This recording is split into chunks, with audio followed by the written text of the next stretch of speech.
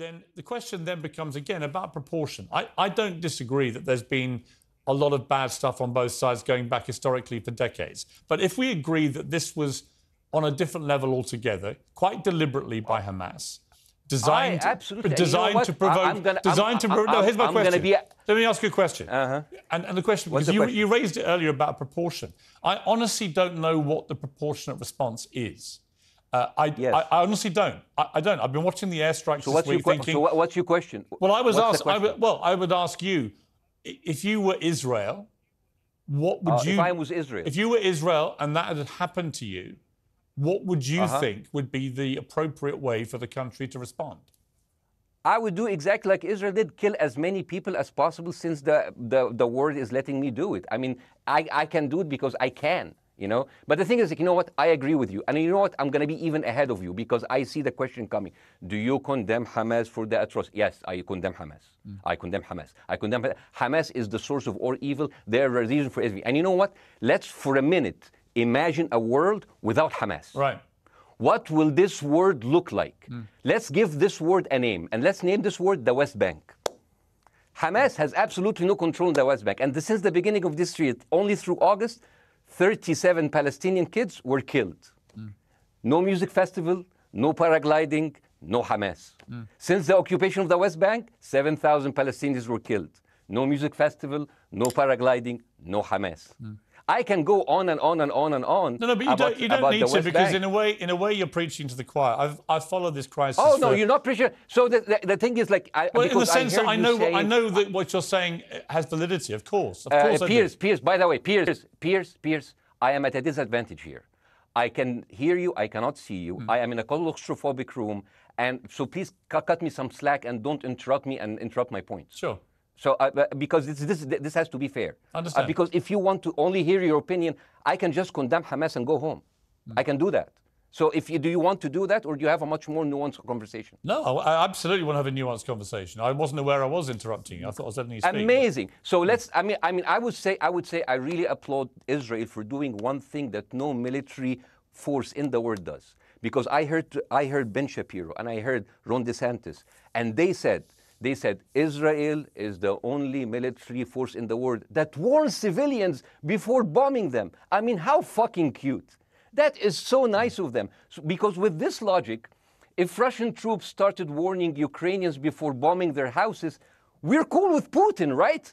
I mean, okay, Habibi, you have uh, warned them, go invade. It's fine. You have done your job.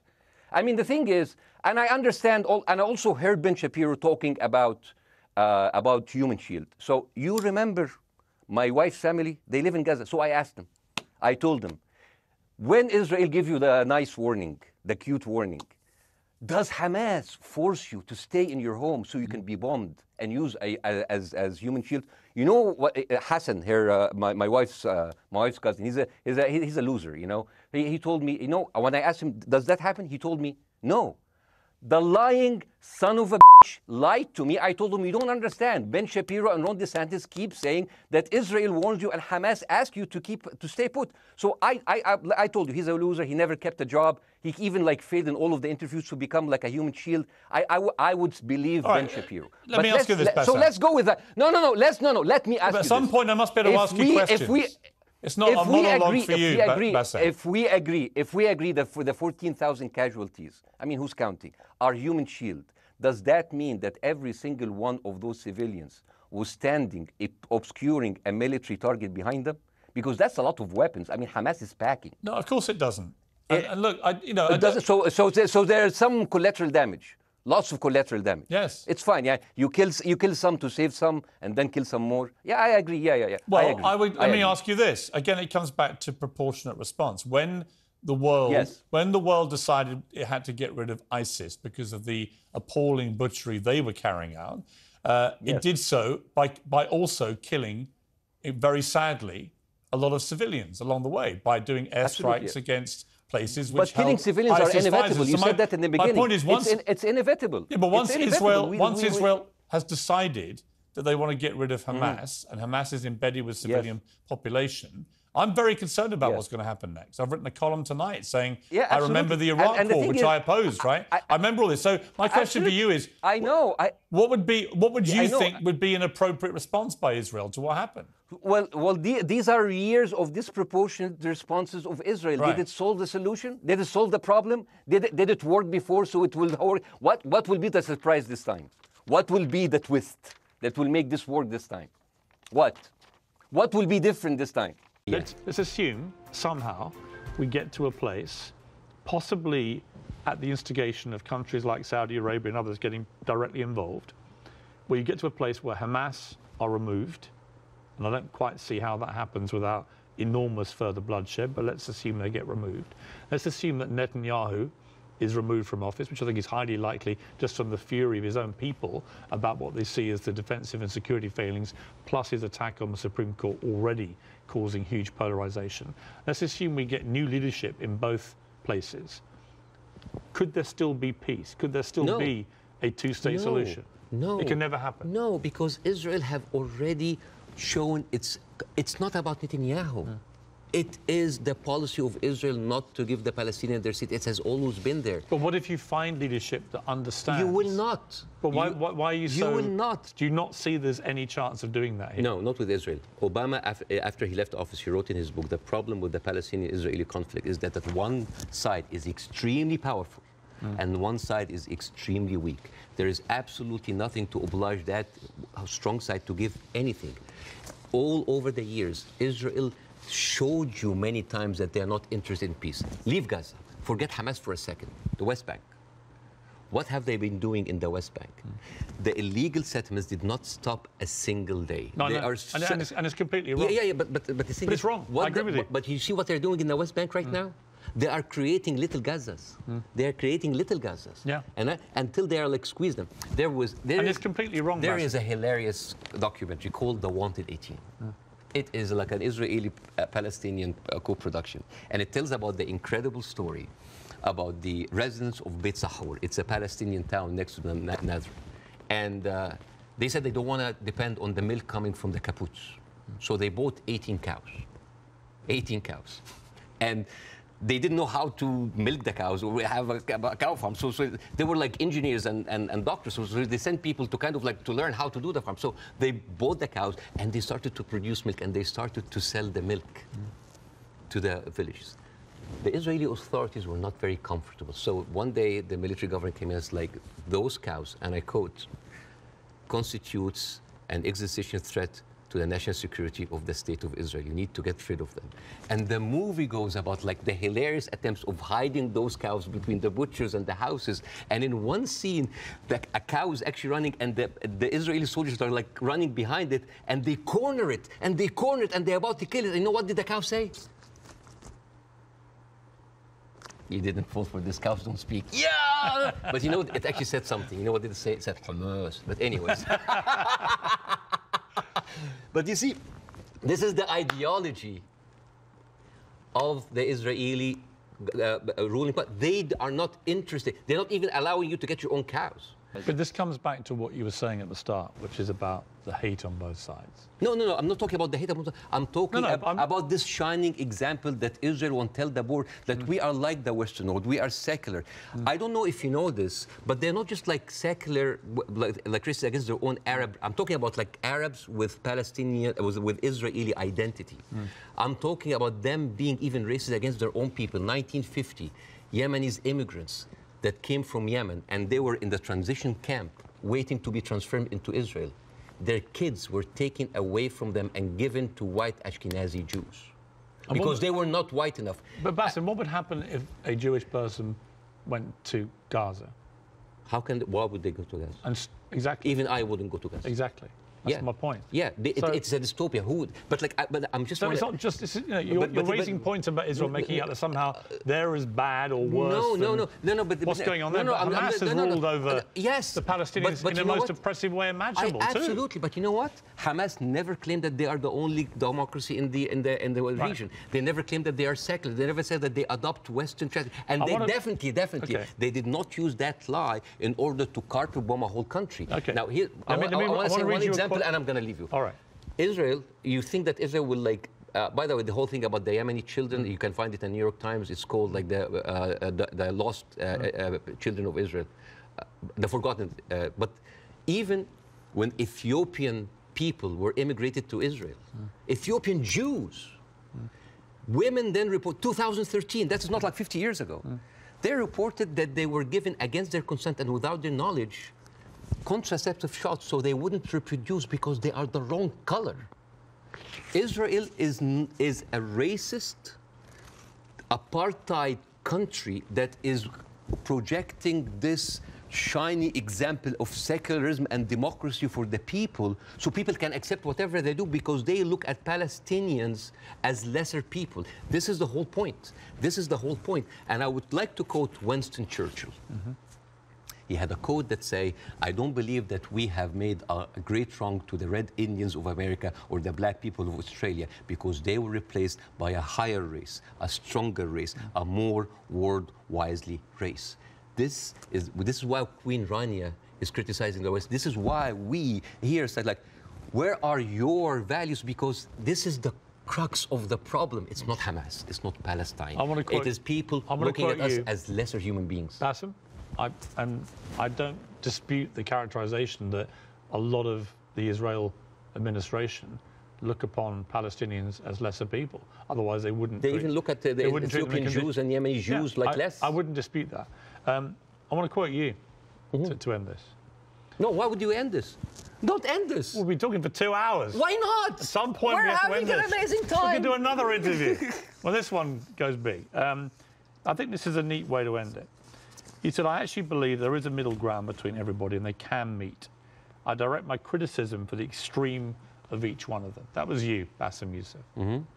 I, I agree with that.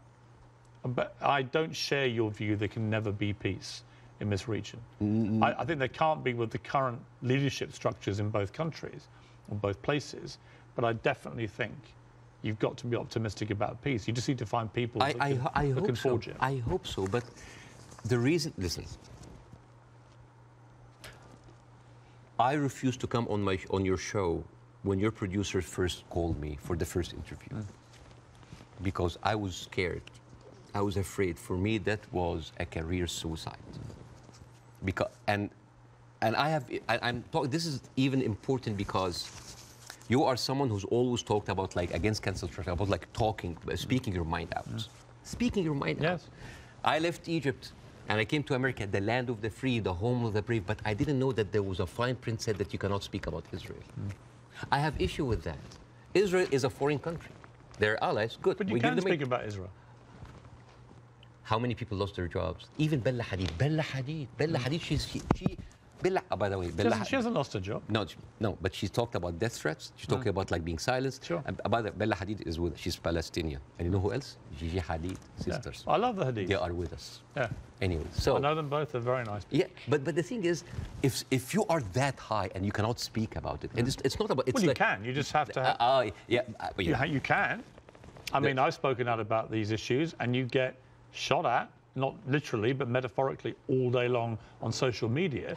But that shouldn't stop people from doing it. I'm just like wondering, as an You American, do? as an American, yeah, but like, I I'm doing now because like the first interview went well. Right. I'm doing that because I want people to see that you can really speak up and not just get canceled, but get rewarded. My career is going fine. Yeah. It's great because I want people to have the courage. I, I- uh, uh, why are we, there should be no limits? I, I'm I'm I agree with I'm that. kind of like so so confused as an American citizen why every American president candidate, a presidential candidate have to go and kiss the hand and bend the knees to AIPAC. Mm. This is a lobby that works for a, a foreign country interest. Why don't we have like a lobby for Saudi Arabia? It is they're giving us more money. you know the great thing? You can say that here. yes, You couldn't say it in Egypt. That's why you're living here. yes. Uh, but again, a lot of people feel the burn, the heat whenever I, they yeah, come but if I was an American, I'd be going, oh, all right, Bassem, all right, we'll take the criticism because you can do that in this country. and I'm happy. when you criticize the government in your own country, Yeah. they drove you out. Yes, and that's why I came to America to play the white man's game, to actually to to to pass this acquired white privilege to my children. not- but the problem it's not is- just a country of am- white people. But but but here's the problem. And the white man's game, uh, the uh, the game in America is not a white man's game. It's a game that actually has a democracy and believes in freedom but there of are speech. dog whistles you're, everywhere. you're not going to be put in jail for this interview. or I can lose my career and I can lose jobs, and you know that. you know could in, that. in Egypt, you could. No, here you can. In Egypt, they arrested here, you Here you can. and they threatened you, and, And- you would have probably ended up in prison here or you, dead. Here, a lot of people lost their jobs because they spoke up. It depends what they say. Of course, but again, If you're Kanye That- West and you spew anti-Semitic No, no, garbage, no, I'm not. No, I'm, I'm, You're I will lose- never. you're gonna I- lose I, what I you will, I have. will never adopt that kind of point Right. of view. But the thing is, there is dog whistles everywhere. Hmm. As I told you at the beginning, you cannot just say it's like anti-Semite, anti-Semite. Like I mean, uh, now the, how, how come that the Palestinian flag is outlawed? By the way, it's outlawed in, in Israel. If you raise the Palestinian, you go to jail. And now they're saying like the Palestinian flag is a pro-Hamas. No, it's not a pro-Hamas. You know, I was in I was doing a comedy show in Arizona, and a guy was like wearing like a, a kufiya, like a scarf, and I took it, and, and I'm not like in hyperbole and like wearing symbols, but I just took it because like, why are we are we gonna uh, outlaw colors and flags? That is that, that that is absurd. That is not right. I don't. I agree. I don't think you should, but you should certainly outlaw Hamas. Regalia. They're already outlaw. I mean, Right. I'm not supporting they're a them. terror group, I'm, yeah. uh, okay, Yeah, okay. yeah. But the people with the power, the people who supposedly have the, And you should, by the way, I will say this: you should be able to criticise the Israeli government without being accused of Yes, being anti-Semitic. but- I have in this interview repeatedly, and I'm not anti-Semitic. I just have a problem with a lot of what the Israeli government's been doing. and I have a problem with how any criticism to Israel by some circles here are considered anti-Semite. This is not Mm. But some- fair. But, yeah, but a lot of the people doing it are actually anti-Semitic. Yes, but also a lot of Zionists Mm. are against Israel, that they hate the Jews. You know, the, it, it, it, We've, we've discussed that. I want to yeah. end on a happy. Uh, but, but, before that, I want to just like say two words about the media, which is, Okay. please. sure. Uh, Mr. Zomlot, the Palestinian ambassador that you have, uh, this guy lost six members of his family in an Israeli strike. And when he went on like some British news thing, he sat down and the, and, and, and, and the, the, the lady told him, it's like, we are very sorry for your personal fund. I'm sure you don't condemn the killing of Israeli civilians. What? In the same moment. There's another girl like called Yara uh, Eid. She was like on Sky News. And, there's, and the, the girl was like crying, like, I lost 30 members of my family, 17 of them are children, I lost my best friend. And then, what did you think would happen with is, I'm, forget about empathy. I what think a lot of people. What about manners? Well, I think you have to start. I've said this repeatedly. You have to start from a place of humanity.